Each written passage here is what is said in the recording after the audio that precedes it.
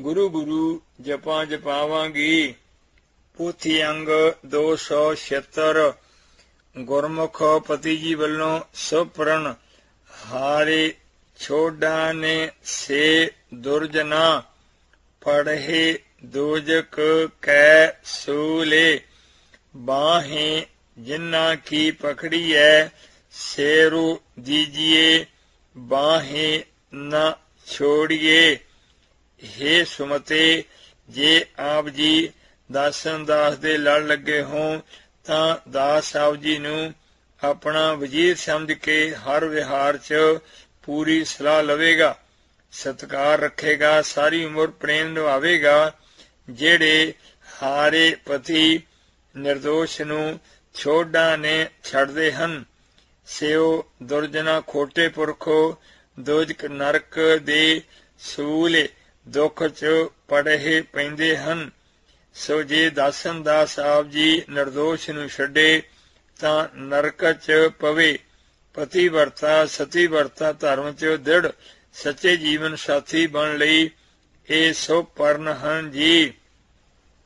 ਪੋਥੀ ਅੰਗ 276 ਗੁਰ ਆਨੰਦ ਕਾਰਜ ਆਰੰਭ ਅਰਦਾਸ ਮਗਰੋਂ ਪੱਲਾ ਫੜਾ ਕੇ ਅੰਮ੍ਰਿਤ ਕੀਰਤਨ ਕਰਨਾ।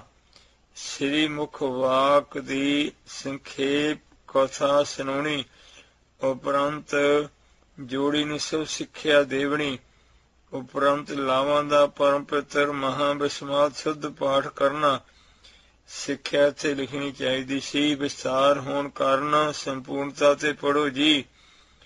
ਪਰਮ ਪਿਤਰ ਲਾਵਾਂ ਦੇ ਪਾਠ ਤੋਂ ਪਹਿਲਾਂ ਇਹ ਸਭ ਮੰਗਲ ਕਰਨੇ। ਜੋ ਸਤਿਗੁਰੂ ਦਸਵੇਂ ਪਾਤਸ਼ਾਹ ਜੀ ਨੇ ਪਿੰਡ ਦੋਦਰ ਵਾਲੀ ਆਨੰਦ ਕਾਰਜ ਦੀ ਸਾਖੀ 'ਚ ਲਿਖੇ ਹਨ, ਪਤੀ ਵਾਚਾਈ ਮਾਨੇ ਵਜੀ ਵਧਾਈ, ਜਬ ਸਾਜਨ ਸੁਣੇ ਘਾਰੇ ਆਏ, ਗੁਣੀ ਗਿਆਨੀ ਬਹਿ ਮਤਾ ਪਕਾਇਆ, ਫੇਰੇ ਤਾਤੋ ਦੇਵਾਏ। ਵਾਰੂ ਪਾਇਆ ਪੁਰਖੂ ਅਗਾਮ ਮੂ ਅਗੋਚਾਰੂ ਸਾਧ ਨਵਤਾ ਨੂੰ ਬਾਲ ਸਖਾਈ। ਨਾਨਕ ਕਿਰਪਾ ਕਾਰੇ ਕੈ ਮਿਲੇ, ਵਿਛੋੜੇ ਕਦੇ ਨ ਜਾਈ।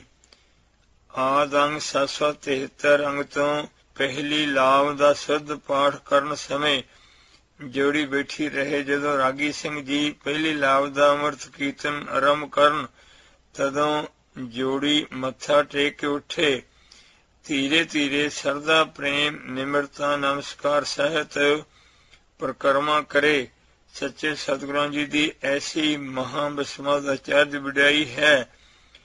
ਅਮਰਤ ਲਾਵਾ ਬਾਣੀ ਨਾਲ ਪੂਰਨ ਬ੍ਰਹਮ ਗਿਆਨੀ ਸਿੱਖਾਂ ਨੂੰ ਤ੍ਰਿਪਤ ਕੀਤਾ। ਅਤੇ ਇਸ ਨਾਲ ਹੀ ਆਨੰਦ ਕਾਰਜ ਕਰਨ ਦੀ ਸਭ ਆਗਿਆ ਬਖਸ਼ੀ ਹੈ ਜੀ।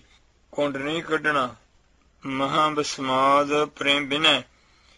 ਪੋਥੀ ਅੰਗ 258 ਤੇ ਨਗਰ ਦੋਦਰ ਵਿਖੇ ਵਾਹਿਗੁਰੂ ਪਰਮ ਪੂਜਨੀ ਮਹਲੇ ਦਸਵੇਂ ਜੀ ਨੇ ਸਭ ਆਨੰਦ ਕਾਰਜ ਦੀ ਮਰਜ਼ਾਦਾ ਫਰਮਾਈ ਹੈ। ਉੱਥੇ ਪੋਥੀ ਤੇ ਲਾਵਾਂ ਦਾ ਪਾਠ ਵੀ ਹੈ। ਸੰਪੂਰਨ ਆਨੰਦ ਸਾਹਿਬ ਜੀ ਤੇ ਸੰਪੂਰਨ ਬਾਣੀ ਹੈ। ਸਤਿਗੁਰਾਂ ਨੇ ਇਹ ਵੀ ਕਿਹਾ ਹੈ ਕਿ ਜਿੱਥੇ ਸ੍ਰੀ ਗੁਰੂ ਗ੍ਰੰਥ ਸਾਹਿਬ ਜੀ ਪ੍ਰਾਪਤ ਨਾ ਹੋ ਸਕਦੇ ਹੋਣ, ਉੱਥੇ ਪੋਥੀ ਪ੍ਰਕਾਸ਼ ਕਰਕੇ ਸੰਪੂਰਨ ਮਰਜ਼ਾਦਾ ਅਨੁਸਾਰ ਆਨੰਦ ਕਾਰਜ ਕਰਾਏ ਜਾ ਸਕਦੇ ਹਨ ਜੀ। 773 ਅੰਗ ਤੋਂ ਪਹਿਲੀ ਲਾਮ ਦਾ ਸ਼ੁੱਧ ਪਾਠ ਕਰਨ ਸਮੇਂ ਜੋੜੀ ਬੈਠੀ ਰਹੇ। ਜਦੋਂ ਰਾਗੀ ਸਿੰਘ ਜੀ ਪਹਿਲੀ ਲਾਮ ਦਾ ਅੰਮ੍ਰਿਤ ਕੀਰਤਨ ਆਰੰਭ ਕਰਨ, ਤਦੋਂ ਜੋੜੀ ਮੱਥਾ ਟੇਕ ਕੇ ਉੱਠੇ। ਧੀਰੇ ਧੀਰੇ ਪੂਰਨ ਸਰਦਾ, ਪ੍ਰੇਮ, ਨਿਮਰਤਾ, ਨਮਸਕਾਰ ਸਹਿਤ ਪ੍ਰਕਰਮਾ ਕਰੇ।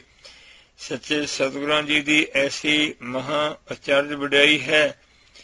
ਅਮਰਤ ਲਾਵਾ, ਗੁਰਬਾਣੀ ਨਾਲ ਪੂਰਨ ਬ੍ਰਹਮ ਗਿਆਨੀ ਗੁਰਸਿੱਖਾਂ ਨੂੰ ਤ੍ਰਿਪਤ ਕੀਤਾ ਹੈ ਅਤੇ ਇਸ ਨਾਲ ਹੀ ਆਨੰਦ ਕਾਰਜ ਕਰਨ ਦੀ ਵੀ ਆਗਿਆ ਬਖਸ਼ੀ ਹੈ।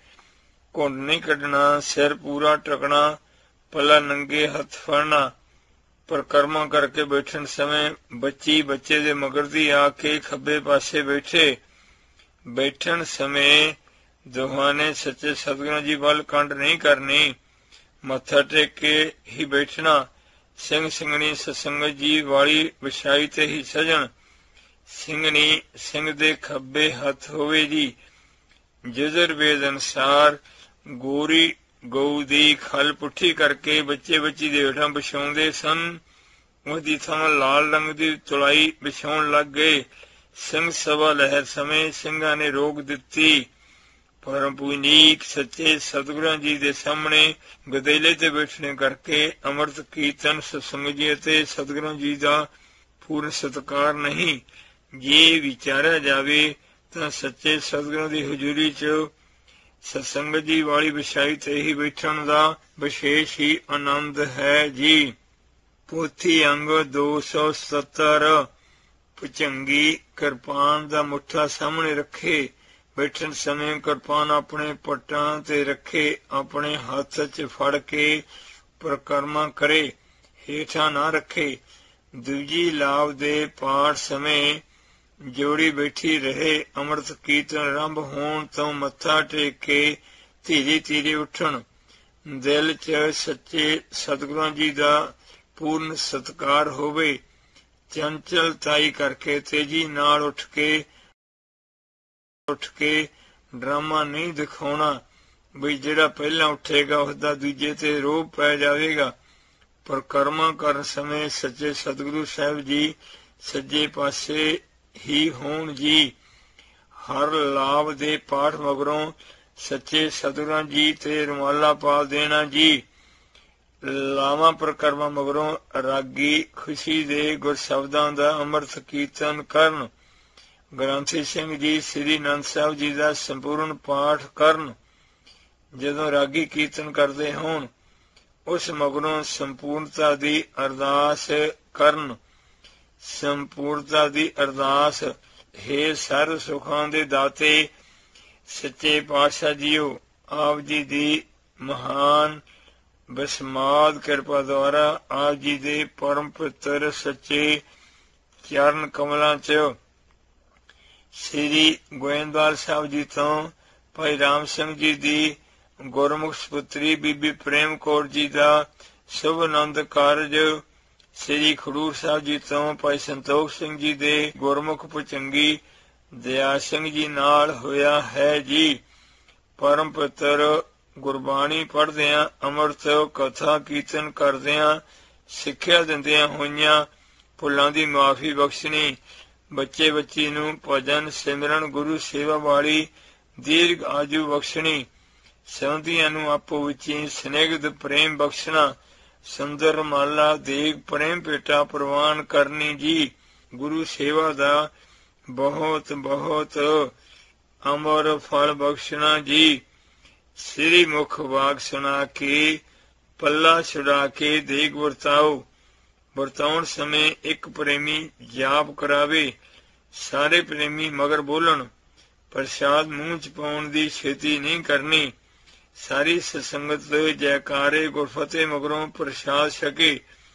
ਪਹਿਲਾਂ ਜਾਪ ਕਰਦਿਆਂ ਹਰ ਜਸ ਮਾਣੇ, ਜਥਾ ਤਾਨੂੰ ਤਾਨੂੰ ਸਤ ਸੰਗਤ ਜੇ ਤੂੰ ਹਾਰੇ ਰਾਸੂ ਪਾਇਆ, ਮੇਲ ਜਨ ਨਾਨਕ ਨਾਮੂ ਪਰਗਾਸੇ। ਪਚੰਗੀ ਪਚੰਗਣ ਨੂੰ ਗੁਰੂ ਜੀ ਦੇ ਪਾਸ ਦੋਵੇਂ ਹੱਥ ਜੁੜਾ ਕੇ, ਖੜਾ ਕੇ ਬਦੈਗੀ ਦਾ ਅਰਦਾਸਾ ਸੋਧਣਾ। हे ਸਦਾ ਸਦਾ ਸਦਾ ਦਇਆਲ, ਵਾਹਿਗੁਰੂ ਸਤਿਗੁਰੂ ਸਾਹਿਬ ਜੀਓ, ਆਪ ਜੀ ਦਾ ਕੋਟਾਨ ਕੋਟ ਸਦਾ ਸਦਾ ਰੋਮ ਰੋਮ, ਬਾਰ ਬਾਰ ਨਿਮਖ ਨਿਮਖ ਧੰਨਵਾਦ ਹੈ ਜੀ। ਆਪ ਜੀ ਦੀ ਬਖਸ਼ਿਸ਼ ਨੂੰ ਪ੍ਰਾਪਤ ਹੋ ਕੇ ਪਚੰਗੀ ਰਾਮ ਸਿੰਘ ਜੀ, ਸ਼ਾਦੀ ਪ੍ਰੰਤ ਜਨ ਸਮੇਤ ਆਪਣੇ ਨਗਰ ਨੂੰ ਵਾਪਸ ਜਾ ਰਹੇ ਹਨ। ਰੱਖਿਆ ਸਹਾਇਤਾ ਜਾਪ ਜਪਾਉਣਾ ਜੀ।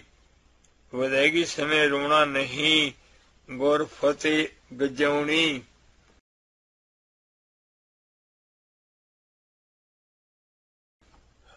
ਪੋਥੀ ਅੰਗ 278 ਪਹਿਲੇ ਸ੍ਰੀ ਮੁਖ ਵਾਕ ਮਗਰੋਂ ਜੋੜੀ ਨੂੰ ਗੁਰਮਤਿ ਅਨਸਾਰ ਸਭ ਸਿੱਖਿਆ।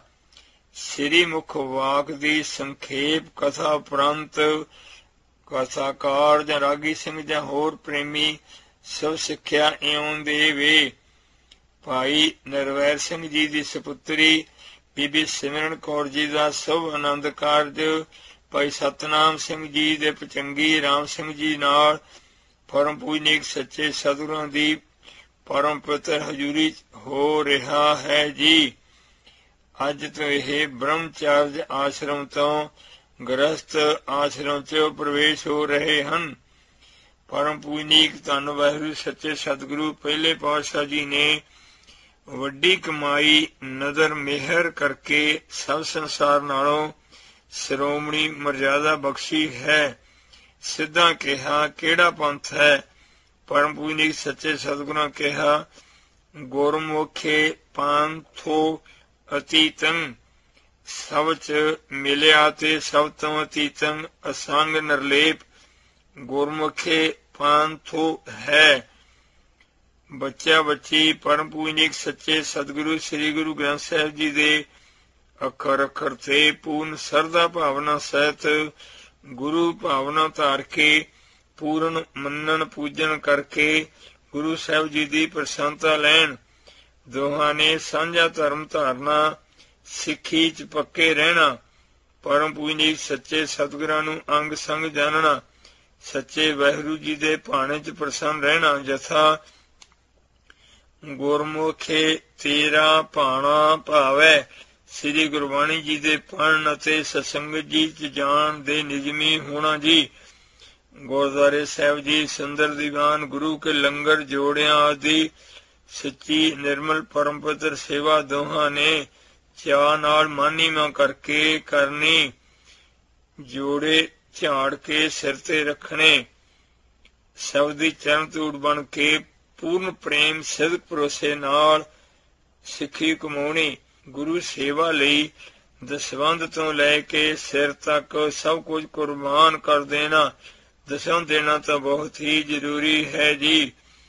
ਬਜ਼ੁਰਗਾਂ ਦੀ ਸਭ ਸੇਵਾ, ਪੂਰਨ ਸਤਕਾਰ ਕਰਨਾ, ਜਿਵੇਂ ਸਾਊ ਭਗਤ ਸਰਵਣ ਜੀ ਨੇ ਕੀਤਾ, ਜਸਾ ਹੋਵੇ ਸਰਵਣ, ਵਿਰਲਾ ਕੋਈ ਲੜ ਲੱਗਿਆਂ ਦਾ ਸੱਚਾ ਸਾਥੀ ਬਣ ਕੇ ਸਾਥ ਨਿਭਾਉਣਾ, ਧਰਮ, ਦੇਸ਼, ਕੌਮ ਲਈ ਆਪਾ ਕੁਰਬਾਨ ਕਰਨਾ, ਦਸਾਂ ਨੋਹਾਂ ਦੀ ਧਰਮ ਕਿਰਤ ਕਰਨੀ ਵੰਡ ਕੇ ਛਕਣਾ, ਪਰਮ ਪੂਜਨੀਕ ਸੱਚੇ ਸਤਿਗੁਰਾਂ ਜੀ ਨੂੰ ਦਸਵੰਦ ਦੇਵਣਾ, ਪਤੀ ਵਰਤਾ ਧਰਮ ਤੇ ਜਸਾ ਚ ਪਰਪੱਕ ਰਹਿਣਾ। ਗੁਰਮਤ ਵਿਦਿਆ ਪ੍ਰਾਪਤ ਕਰਨੀ, ਬੱਚਿਆਂ ਨੂੰ ਕਰਾਉਣੀ, ਸਾਦਾ ਲਿਬਾਸ ਪਹਿਨਣਾ, ਮਨਮਤ ਤਿਆਗਣੀ, ਨਾਮ ਜਪਣ ਜਪਾਉਣ ਵਾਲਾ ਧਰਮੀ ਜੀਵਨ ਬਣਾਉਣਾ, ਖਾਸ ਪ੍ਰੇਮ ਬੇਨਤੀ ਹੈ ਜੀ। ਦੁਨੀਆ ਦਾ ਖਾਣਾ ਪੀਣਾ ਪਹਿਨਣਾ ਬਹੁਤ ਦੁਰਮਤ ਵਾਲਾ ਹੋ ਚੁੱਕਾ ਹੈ ਜੀ। ਜਿਹੜੇ ਸਰੀਰ ਹਰ ਵੇਲੇ ਵਿਸ਼ੇ ਵਿਕਾਰ ਦੇ ਗਾਣੇ ਸੁਣਦੇ ਹਨ, ਘਰ ਵਿੱਚ ਭੈੜੀਆਂ, ਗੰਦੀਆਂ ਮੂਵੀਆਂ, ਨਾਟਕ ਲਾਉਂਦੇ ਹਨ, ਉਹਨਾਂ ਸਰੀਰਾਂ ਨੂੰ ਵਿਸ਼ੇ ਵਿਕਾਰ ਖਾ ਜਾਂਦਾ ਹੈ। ਸਰੀਰ ਨੂੰ ਰੋਗ ਲੱਗ ਜਾਂਦੇ ਹਨ। ਜੇਕਰ ਗੁਰੂ ਦਸਵੇਂ ਪਾਤਸ਼ਾਹ ਦਾ ਹੁਕਮ ਮੰਨਿਆ ਜਾਵੇ ਭਾਂਤ ਭਾਂਤ ਪਛਤ ਪਕਵਾਨਾ ਉਪਜਤ ਰੋਗ ਦੇਹ ਤੈਨ ਨਾਨਾ। ਗੁਰੂ ਦਸਵੇਂ ਪਾਤਸ਼ਾਹ ਜੀ ਫਰਮਾਉਂਦੇ ਹਨ, ਜਿਹੜੇ ਸਵਾਦੀ ਬੰਦੇ ਸਵਾਦ ਦੇ ਵਸੀਕਾਰ ਹੋ ਕੇ ਭਾਂਤ ਭਾਂਤ ਤਰ੍ਹਾਂ ਤਰ੍ਹਾਂ ਦੇ ਤਲੇ ਪਦਾਰ ਸਕਦੇ ਹਨ, ਉਹਨਾਂ ਦੇ ਸਰੀਰ ਤੇ ਨਾਨਾ ਰੋਗ ਪੈਦਾ ਹੁੰਦੇ ਹਨ। ਤੇਜ਼ ਚਲੀਆਂ ਚੀਜ਼ਾਂ ਦੇ ਨਾਲ ਬੁਕਾਰ ਸਰੀਰ ਵਿੱਚ ਜ਼ਿਆਦਾ ਫੁਰਦਾ ਹੈ। ਬੁਕਾਰ ਲਈ ਤਲੇ ਪਦਾਰਥ ਅਤੇ ਕੈਪਸੂਲ ਵਗੈਰਾ ਖਾਦੇ ਜਾਂਦੇ ਹਨ। ਗੁਰਮੁਖ ਨੇਕ ਸਭ ਬੱਚੀਆਂ ਇਸ ਤਰ੍ਹਾਂ ਆਪਣੇ ਘਰ ਨੂੰ, ਤਨ ਮਨ ਨੂੰ ਸਾਰਿਆਂ ਨੂੰ ਸਵਾਰਨ, ਫੂਡ ਸਾਦਾ ਹੋਵੇ ਐਕਸਰਸਾਈਜ਼ ਨਾਲ ਸਰੀਰ ਨੂੰ ਸਵਾਰਿਆ ਜਾਵੇ, ਗੁਰਬਾਣੀ ਵਿਚਾਰੀ ਜਾਵੇ 24 ਘੰਟੇ ਘਰ ਵਿੱਚ ਗੁਰਬਾਣੀ ਬੋਲਦੀ ਰਹੇ। ਸੋ ਜਿਹੜੀਆਂ ਬੱਚੀਆਂ ਵਿਸ਼ੇ ਵਕਾਰ ਵਿੱਚ ਖਚਤ ਹੋ ਕੇ ਆਪਦੇ ਪਤੀਆਂ ਨੂੰ ਹਰ ਵੇਲੇ ਜ਼ਿਆਦਾ ਗੰਢੇ, ਅਦਰਕ, ਲਸਣ ਤੇ ਤੜਕੇ ਸੁਕਾਈ ਜਾਂਦੀਆਂ ਹਨ, ਛਕੀ ਜਾਂਦੀਆਂ ਹਨ। ਉਹਨਾਂ ਦੀਆਂ ਬਾਡੀਆਂ ਛੇਤੀ ਡਾਊਨ ਹੋ ਜਾਂਦੀਆਂ ਹਨ। ਜਿਵੇਂ ਮਹਾਰਾਜ ਦਾ ਹੁਕਮ ਹੈ ਜੀ, ਅਨਕੇ ਭੋਗ ਵੇਖਿਆ ਕੀ ਕਰੈ ਨਹ ਤਰਤਾਵੈ ਖਾਪੇ ਖਾਪੇ ਮਰੈ, ਕੇਤੇ ਖਾਪੇ ਟੁੱਟੇ ਵੇਕਾਰ। ਹੁਕਾਰਾਂ ਤੋਂ ਬਾਅਦ ਸੀ ਤੇ ਰੋਗ ਆ ਜਾਂਦੇ ਹਨ। ਇਸ ਕਰਕੇ ਮਹਾਰਾਜ ਨੇ ਕਿਰਪਾ ਕੀਤੀ ਹੈ ਕਿ ਪਤੀ ਸਤੀ ਦਾ ਰਿਸ਼ਤਾ ਇਸ ਵਾਸਤੇ ਬਣਾਇਆ ਕਿ ਰਲ ਕੇ ਗੁਰੂ ਪ੍ਰਸਾਦ ਦੀ ਸੇਵਾ ਭਗਤੀ ਬੰਦਗੀ ਕਰਨ ਅਤੇ ਆਪਣੇ ਬੱਚਿਆਂ ਨੂੰ ਗੁਰੂ ਸੇਵਾ ਬੰਦਗੀ ਚ ਲਾਉਣ। ਪਤੀ ਸਤੀ ਇੱਕ ਜੋਤ ਹੋ ਜਾਣ, ਇਹ ਮਨੁੱਖਾ ਜਨਮ ਸਾਂਝਾ ਬੰਦਗੀ ਵਾਸਤੇ ਹੀ ਮਿਲਿਆ ਹੈ। ਇਸੇ ਤਰ੍ਹਾਂ ਜੋ ਪਤੀ ਵੀ ਸਤੀ ਨੂੰ ਇਸ ਤਰ੍ਹਾਂ ਦੇ ਪਦਾਰਥ ਜਿਵੇਂ ਮਾਸ ਲਿਆ ਕੇ ਦਿੰਦੇ ਹਨ, ਜਿਵੇਂ ਤੇਜੀ ਹੈ ਅਤੇ ਨਸ਼ੇ ਵੀ ਵਰਤਦੇ ਹਨ, ਸੋ ਜਿਸ ਕਰਕੇ ਸੀ ਛੇਤੀ ਡਾਊਨ ਡਿੱਗ ਪੈਂਦੇ ਹਨ। ਸਤਿਗੁਰੂ ਮਹਾਰਾਜ ਸਾਹਿਬ ਜੀ ਨੇ ਗੁਰਬਾਣੀ ਵਿੱਚ ਨਿਸ਼ਾ ਕੀਤੀ ਹੈ ਜੀ। ਸੋ ਸਾਦਾ ਜੈਸਾ ਅਨ ਵੈਸਾ ਮਨ, ਸਾਦਾ ਖੁਰਾਕ ਤੇ ਸਾਦਾ ਪੋਸ਼ਾਕ, ਜੀਵਨ ਬਣੇ ਗੁਰਮੁਖ ਸ਼ਨਾਕ, ਤਨ ਮਨ ਤਨ ਦੀ ਸਫ਼ਾਈ ਹੋਵੇ, ਗੁਰੂ ਪ੍ਰਸਾਦ ਦੀ ਰੱਜ ਕੇ ਬੰਦਗੀ ਹੋਵੇ, ਰੱਜ ਕੇ ਸਿਮਰਨ ਹੋਵੇ, ਗੁਰੂ ਸੇਵਾ ਹੋਵੇ, ਹਿਰਦੇ ਚ ਮੁਖ ਵਿੱਚ ਅੰਮ੍ਰਿਤ ਆਵੇ, ਸਤਿਗੁਰੂ ਦੇ ਦਰਸ਼ਨ ਹੋਣ, ਹਰ ਵੇਲੇ ਧੰਨ ਗੁਰੂ ਗ੍ਰੰਥ ਸਾਹਿਬ ਜੀ ਹਿਰਦੇ ਚ ਮੁਖ ਵਿੱਚ ਅੰਮ੍ਰਿਤ ਦਿਲ ਦਿਮਾਗ ਵਿੱਚ ਗੁਰਬਾਣੀ ਭੇਜਣ। ਸਾਚ ਨਾਮ ਕੀ ਅੰਮ੍ਰਿਤ ਵਰਖਾ ਕਰਨ ਜੀ। ਸੋ ਇਹ ਸਭ ਸਿੱਖਿਆ ਸਤਿਗੁਰੂ ਪ੍ਰੇਸ਼ਰ ਜੀ ਵੱਲੋਂ ਜਾਣ ਕੇ ਦਾਸਨ ਦਾਸ ਨੇ ਅਰਜ ਕੀਤੀ ਹੈ। ਸਭ ਦੇ ਚਰਨ ਚੜਦਾ ਹਾਂ, ਦਾੜੇ ਨਾਲ ਕੇਸਾਂ ਨਾਲ ਚਰਨ ਝਾੜਦਾ ਹਾਂ। ਖਿਮਾ ਬਖਸ਼ਣੀ, ਗੁੱਸਾ ਨਹੀਂ ਕਰਨਾ ਜੀ। ਗਰੀਬ ਨਿਵਾਜ ਮਹਾਰਾਜ ਜੀ, ਆਪਣੇ ਪਿਆਰੇ ਬੱਚਿਆਂ ਨੂੰ ਇਹਨਾਂ ਨਿਯਮਾਂ ਚਲਾਓ, ਜਨਮ ਯਾਤਰਾ ਸਫਲੀ ਹੋਵੇ। हे ਗੁਰੂ ਪ੍ਰੇਮਿਓ, ਇਹ ਨਿਯਮ ਮੰਨਣੇ ਸੱਚੇ ਸਤਿਗੁਰਾਂ ਨੂੰ। ਪ੍ਰਗਟੋ ਸਗਲ ਹਾਰੇ ਭਵਨ ਮਹਿ, ਗਿਆਨੋ ਨਾਨਕੋ ਗੁਰ ਪਾਰ ਬ੍ਰਹਮ। ਗੁਰ ਪਰਮੇਸ਼ਰ ਜਾਣ ਕੇ ਮੱਥਾ ਟੇਕੋ ਜੀ।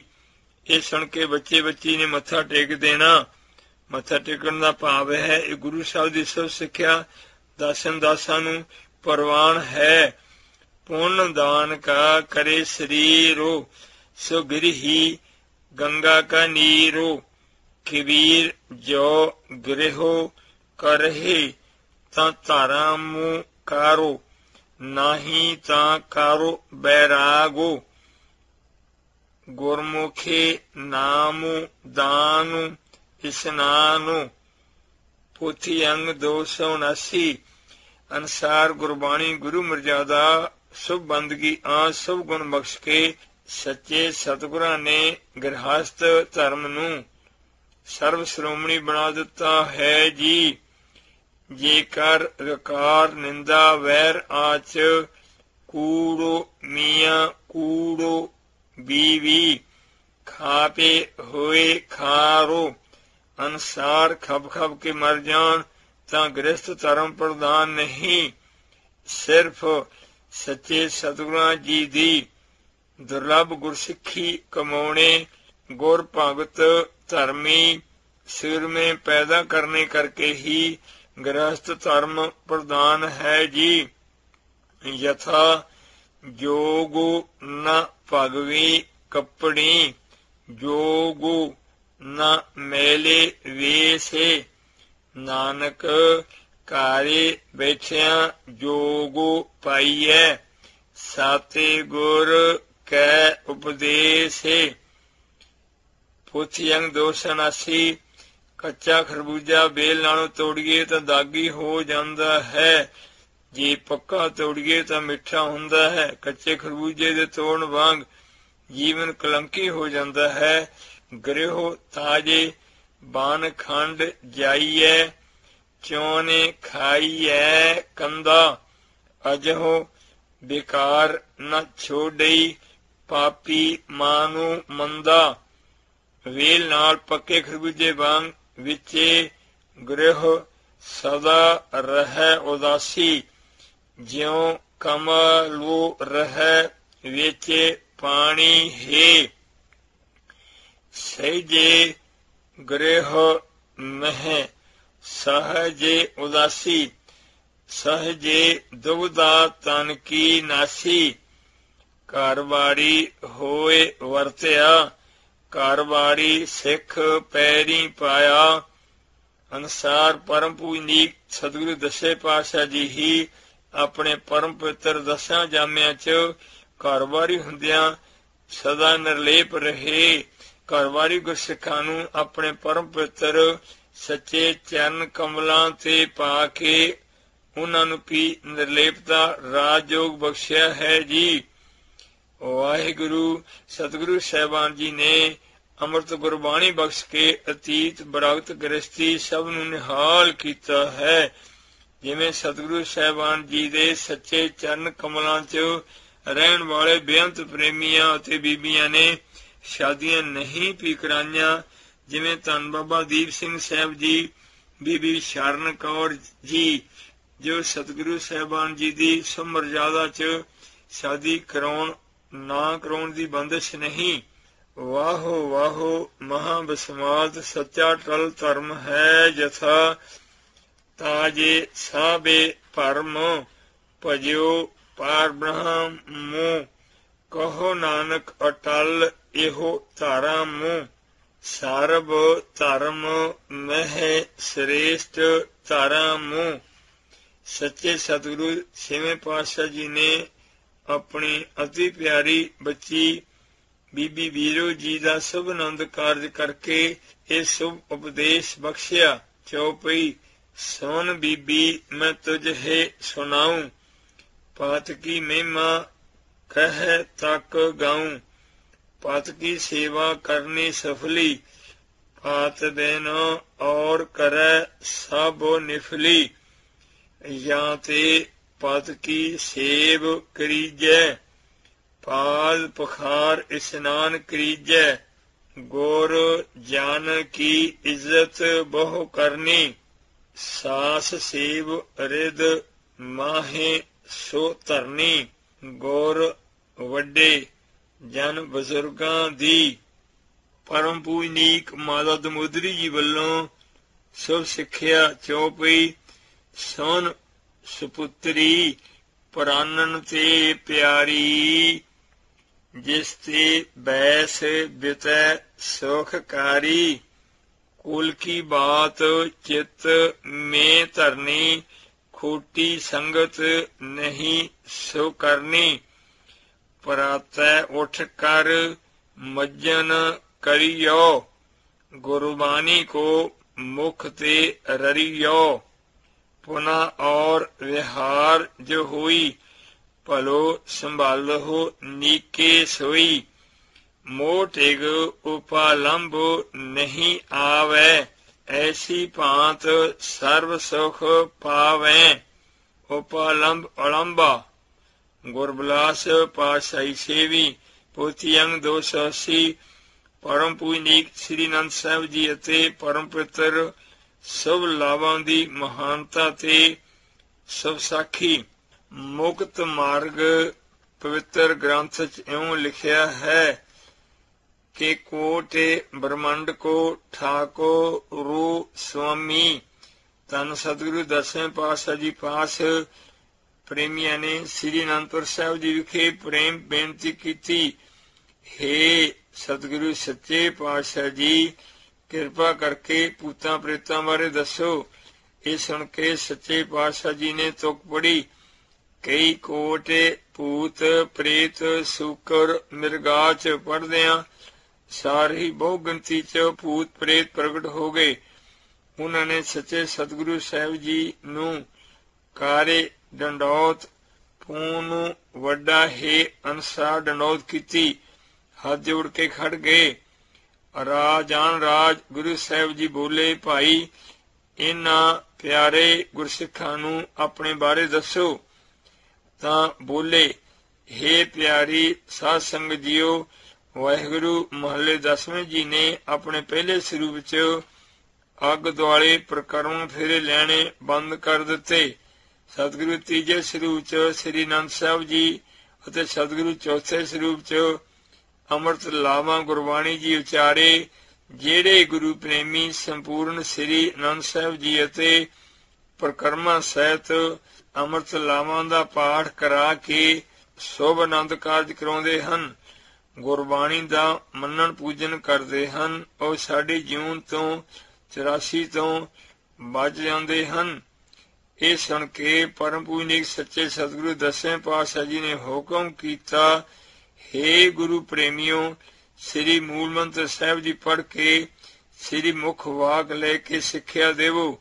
ਉਪਰੰਤ ਲਾਵਾਂ ਤੇ ਪ੍ਰਕਰਮਾਂ ਕਰਕੇ ਸੰਪੂਰਨ ਸ੍ਰੀ ਅਨੰਦ ਸਾਹਿਬ ਜੀ ਪੜੋ ਇਸ ਤਰ੍ਹਾਂ ਗੁਰੂ ਮਰਜ਼ਾਦਾ ਅਨਸਾਰ ਸੁਭ ਆਨੰਦ ਕਾਰਜ ਕਰਨੇ ਕਰਕੇ ਸਤਿਗੁਰੂ ਸਾਹਿਬਾਨ ਜੀ ਦੀਆਂ ਖੁਸ਼ੀਆਂ ਦੀਆਂ ਲੱਖਾਂ ਪਾਸ਼ਾਈਆਂ ਪ੍ਰਾਪਤ ਕਰਕੇ ਇਹ ਲੋਕ ਸੁਖੀਏ, ਪਰਲੋਕ ਸੁਹੇਲੇ ਹੋਵੋ ਜੀ। ਪੋਥੀ ਅੰਗ 280 ਪੂਰਨ ਗੁਰੂ ਜੀ ਵੱਲੋਂ ਦਾਜ ਦੇ ਲੋਭੀ ਕੁੱਤੇ ਨੂੰ ਦਾਜ ਲੈਣ ਤੋਂ ਸਖਤ ਮਨਾਹੀ। ਵਾਹਿਗੁਰੂ ਮਹੱਲੇ ਨੌਵੇਂ ਜੀ ਦੇ ਸ਼ੁਭ ਆਨੰਦ ਕਾਰਜ ਮਗਰੋਂ ਸਤਿਗੁਰੂ ਛੇਵੇਂ ਪਾਤਸ਼ਾਹ ਜੀ ਦੇ ਵਡਭਾਗੇ ਕੋੜਮ ਬਾਬਾ ਲਾਲ ਚੰਦ ਜੀ ਕੁੜਮਣੀ ਸਾਡੇ ਮਾਤਾ ਵਿਸ਼ਨ ਕੌਰ ਜੀ ਨੇ ਹੱਥ ਜੋੜ ਕੇ ਪ੍ਰੇਮ ਨਿਮਰਤਾ, ਗਰੀਬੀ, ਬਿਸਮਾਦ, ਖੁਸ਼ੀ ਕਾਗਰਤਾ ਸਹਿਤ ਮਾਫੀ ਮੰਗੀ। ਨੇਤਰਾਂ 'ਚ ਵੈਰਾਗ ਜਲ ਆ ਗਿਆ। ਲੂ ਕੰਡੇ ਖੜੇ ਹੋ ਗਏ ਕਿਹਾ हे ਵਾਹਿਗੁਰੂ, ਮਹੱਲਾ ਛੇਵਾਂ ਜੀਓ, ਆਪ ਜੀ ਖੰਡ, ਬ੍ਰਹਮੰਡ ਬੇਅੰਤ ਉਦਾਹਰਣ ਹਾਰਿਆ। ਪੂਰਨ ਵਿਆਪਕ ਬ੍ਰਹਮ ਜੀ ਦੇ ਪੂਰਨ ਗੁਰੂ ਅਵਤਾਰ ਅੰਤ ਕਲਾਵਾਨ ਮਿਹਰਬਾਨ ਹੋ ਜੀ। ਅਸੀਂ ਕੁਝ ਵੀ ਨਹੀਂ ਦੇ ਸਕੇ, ਸੇਵਾ ਵੀ ਨਹੀਂ ਕਰ ਸਕੇ, ਆਪਣੇ ਦਾਸਨ ਦਾ ਜਾਣ ਕੇ ਬਖਸ਼ ਲੈਣਾ ਜੀ। ਇਹ ਨਿਮਰਤਾ ਦੇ ਵਚਨ ਸੁਣ ਕੇ ਪਰਮ ਪੂਜਨੀਕ ਸੱਚੇ ਵਾਹਿਗੁਰੂ ਸਤਿਗੁਰੂ ਸਾਹਿਬ ਜੀ ਨੇ ਪ੍ਰੇਮ ਚ ਢਲ ਕੇ ਨਿਹਾਲ ਨਿਹਾਲ ਨਿਹਾਲ ਕਿਹਾ। ਪੋਥੀ ਅੰਗ 281 ਜਥਾ, ਸੋਨੇ ਸਤਗੁਰ ਭਏ ਕਿਰਪਾਲਾ, ਤੁਮ ਦੀਨੋ ਸਕਲ ਵਿਸਾਲਾ। ਜੇਨ ਤੰਜਾ ਅਰਪਨ ਕੀਨੰ ਕਇਆ ਪਾਛੈ ਤੈਨ ਰਾਖੇ ਲੀਨੰ। ਸਕਲ ਸਭ ਕੁਝ ਵਿਸਾਲਾ, ਵੱਡਾ ਪੁੰਨ ਦਾਨ। ਸੰਜਾ ਸੁਪੁੱਤਰੀ ਅਰਪਨ ਭੇਟਾ ਕੀਤੀ। ਪੂਰਨ ਗੁਰੂ ਜੀ ਦੇ ਹੁਕਮ ਨੂੰ ਵਿਸਾਰ ਕੇ ਅਸੀਂ ਮਹਾ ਭਿਆਨਕ ਬਗਿਆੜ ਕੁੱਤੇ ਚਿੱਤਰੇ ਵਾਲੀ ਕਰਨੀ ਕਰਦੇ ਹਾਂ, ਜੋ ਲੜਕੀ ਦੇ ਮਾਪਿਆਂ ਦਾ ਹੱਡ ਚਮ ਖਾਂਦੇ ਹਾਂ, ਜਿਸ ਕਰਕੇ ਰੋਗ ਭੋਗ ਸੋਗ ਦੇ ਵਸ ਮਰ ਜਾਂਦੇ ਹਾਂ। ਜੰਪੂਰੀ ਲਹੂ ਪਾ ਗੰਦੀ ਨਦੀ 'ਚ ਗੋਤੇ ਖਾਂਦੇ ਹਾਂ। ਜਦ ਮਾਰ ਜਮਾਂ ਦੀ ਪੈਂਦੀ ਹੈ, ਹਾਹਾਕਾਰ ਅਲਾਂਦੇ ਹਾਂ। ਦਾਜ ਲੈ ਕੇ ਆਪਣੇ ਮੱਥੇ ਤੇ ਕਾਲਖ ਦਾਗ ਲਗਾਉਂਦੇ ਹਾਂ। ਦਾਜ ਦੀ ਮਾਇਆ ਰੂਪੀ ਗੰਦਗੀ ਨੂੰ ਮੂੰਹ 'ਚ ਪਾ ਖਾਂਦੇ ਹਾਂ। ਪਹਿਰਾਵਾ ਉਤੋਂ ਸਿੱਖੀ ਦਾ ਪੂਰੇ ਗੁਰੂ ਜੀ ਨੂੰ ਮੂਲ ਨਾ ਭਾਂਦੇ ਹਾਂ। ਭਿਆਨਕ ਬਗਿਆੜ ਕੁੱਤੇ ਚਿੱਤਰੇ ਸੂਰ ਵਾਲੀ ਕਰਨੀ ਇਹ ਹੈ। ਆਪ ਕਹਿਣਾ ਸਾਨੂੰ ਤਾਂ ਕੇਵਲ ਲੜਕੀ ਹੀ ਚਾਹੀਦੀ ਹੈ। ਵਿਚੋਲੇ ਨੂੰ ਕਹਿ ਕੇ ਨਜਾਇਜ਼ ਚੀਜ਼ਾਂ ਮੰਗ ਮੰਗ ਕੇ ਲਈ ਹੀ ਜਾਣੀਆਂ। ਸੂਰ ਵਾਂਗ ਬਿਸਤਰਾ ਖਾਣਾ ਹੈ, ਬੇਮੁਖਾਂ ਦੀ ਖੋਟੀ ਕਰਨੀ ਹੈ। ਜਿਵੇਂ ਪਹਿਲਾਂ ਆਖਾ, ਫਿਰ ਠਾਕਾ, ਫਿਰ ਕੁੜਮਾਈ, ਚਿਨੀ ਚਰਾਉਣੀ ਲੜਕੀ ਦੇ ਘਰ ਬਾਰ-ਬਾਰ ਫੇਰੇ ਪਾਉਣੇ, ਵਿਆਹ ਸਮੇਂ 20-20 ਇਸਤਰੀਆਂ ਮਰਦਾਂ ਦੀਆਂ ਮਿਲਣੀਆਂ ਸ਼ਰਾਬ, ਮਾਸ, ਪਕਵਾਨ ਮੈਰਿਜ ਪੈਲੇਸ ਸ਼ਾਦੀ ਕਰਨੀ, ਦਾਜ ਲੈ ਕੇ ਬੱਚੀ ਛੱਡ ਦੇਣੀ, ਚੱਲ ਪੇਕੀ ਨੂੰ ਬਿਮਾਰ ਹੋਵੇ, ਬੱਚਾ ਪੈਦਾ ਹੋਣ ਵਾਲਾ ਹੋਵੇ, ਚੱਲ ਪੇਕੀ, ਬੱਚੇ ਜੰਮਣ, ਉਹਨਾਂ ਦੇ ਮੰਗਣੇ, ਸ਼ਾਦੀਆਂ ਪੜਾਈਆਂ ਸੰਧਾਰੇ ਆਦ, ਮਾਪਿਆਂ ਦੇ ਖਰਚ, ਖੇਚਲ ਨੂੰ ਕੌਣ ਗਿਣੇ, ਬਸ ਕੁੜੀ ਵਾਲੇ, ਕੁੜਮਾਂ ਦੇ ਛਤਰਾਂ ਦੀ ਮਾਰ ਦੇ ਮਾਰੇ ਰੋਗੀ ਦੁਖੀ ਮਰ ਜਾਂਦੇ ਹਨ। ਇਹਨਾਂ ਦੁੱਖਾਂ ਦੀ ਨਿਵਰਤੀ ਲਈ ਪੂਰਨ ਗੁਰੂ ਜੀ ਨੇ ਮਹਾਨ ਕਿਰਪਾ ਕਰਕੇ ਗੁਰਮਤਿ ਅਨਸਾਰ ਵਿਆਹ ਕਰਨ ਦੀ ਸਭ ਬਣਾਈ ਹੈ ਜੀ। ਪੂਰਨ ਗੁਰੂ ਜੀ ਨੂੰ ਨਿਮਖ ਨਿਮਖੋ ਨਮਸਕਾਰ ਕਰੀਏ। ਸਦਾ ਸਦਾ ਬਲਹਾਰ ਜਾਈਏ। ਜਥਾ ਨਾਰਾਇਣ ਨਰਪਾ ਤੇ ਨਮਸਕਾਰ ਹੈ। ਐਸੇ ਗੁਰ ਕੋ ਬਾਲੇ ਬਾਲੇ ਜਾਈਐ, ਆਪੇ ਮੁਕ ਤੂ ਮੋਹਿ ਤਾਰੈ।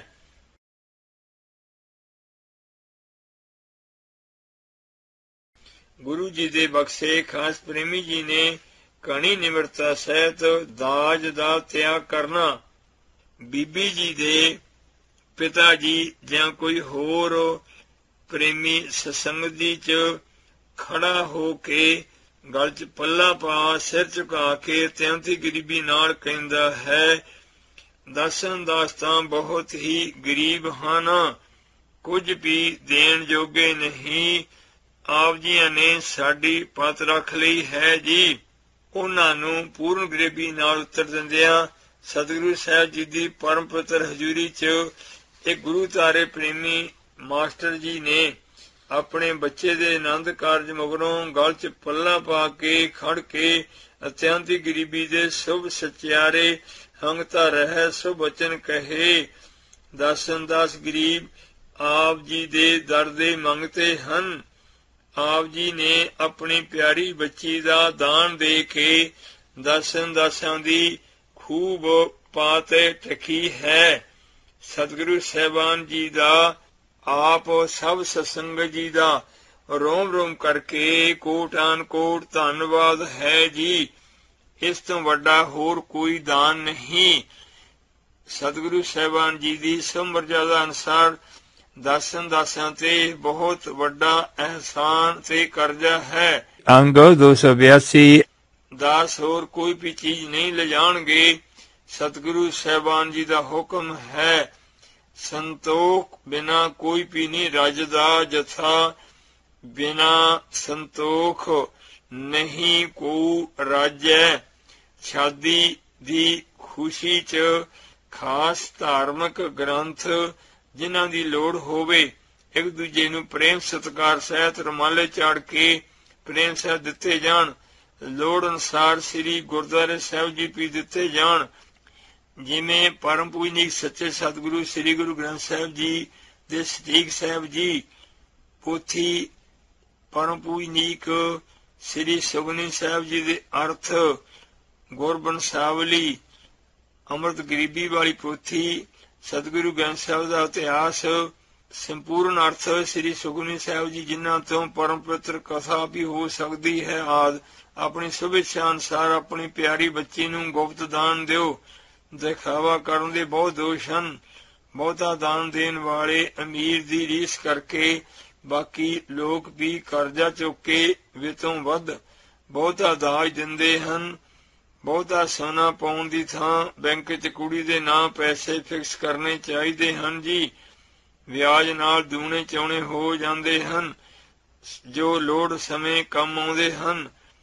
ਅੱਜ ਤੋਂ 300 ਬਰੇ ਪਹਿਲਾਂ ਸਤਿਗੁਰੂ ਸਾਹਿਬ ਜੀ ਨੇ ਪਿੰਡ ਦੌਦਰ ਆਨੰਦ ਕਾਰਜ ਵਾਲੀ ਪ੍ਰੋਗਤ ਸਾਖੀ, ਜੋ ਪੋਥੀ ਦੇ 258 ਅੰਗ ਤੇ ਹੈ, ਨਗਦ ਤਨ ਦੇਣ ਨੂੰ ਕਿਹਾ ਹੈ। ਜੇ ਬੱਚੀ ਨੂੰ ਛੱਡ ਦੇਣ, ਤਾਂ ਵੀ ਬੱਚੀ ਦੇ ਨਾਮ ਰਕਮ ਸੇਵ ਰਹਿੰਦੀ ਹੈ। ਛੱਡਣ ਤੋਂ ਦਾਜ ਦਾ ਸਭ ਕੁਝ ਵਿਅਰਥ ਹੋ ਜਾਂਦਾ ਹੈ। ਦਾਜ ਦੇਖ ਕੇ ਡਾਕਾ ਵੀ ਵੱਜ ਜਾਂਦਾ ਹੈ। ਇਸ ਕਰਕੇ ਦਾਜ ਨਹੀਂ ਦੇਣਾ ਚਾਹੀਦਾ। ਸੱਚੇ ਸਤਿਗੁਰਾਂ ਦਾ ਫਰਮਾਨ ਹੈ, ਹੋਰੇ ਮਨਮੁਖ ਦਾਜ ਜੇ ਰੱਖੇ, ਜੇ ਸੋ ਕੂੜੋ, ਅਹੰਕਾਰੋ ਕਾਚੋ ਪਾਜੋ।